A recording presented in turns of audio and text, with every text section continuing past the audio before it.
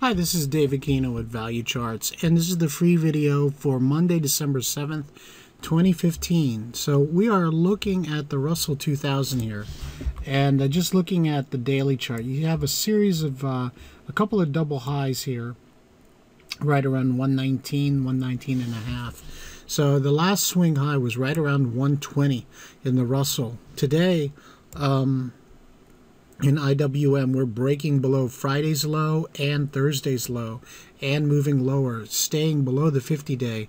There's a lot of weakness in this from the weakness in crude oil, which right now is down $2.18.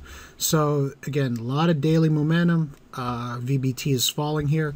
So looking at uh, the Russell 2000, this trade is going down.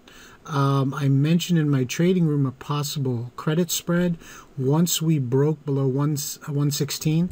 However, what I want to propose right now is a backdoor credit spread uh, right at 120.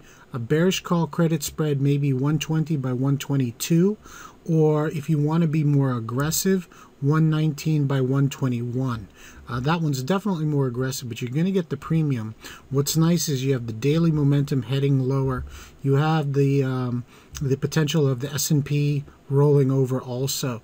That would lend to the weight of this. Again, crude oil is down at the low of the year, 37.86 and uh, the hourly we broke the swing low right here on you can see it very clearly um, momentum is drifting lower. So uh, that's one opportunity. I believe uh, that should work out by the end of the week. But again, bearish call credit spread.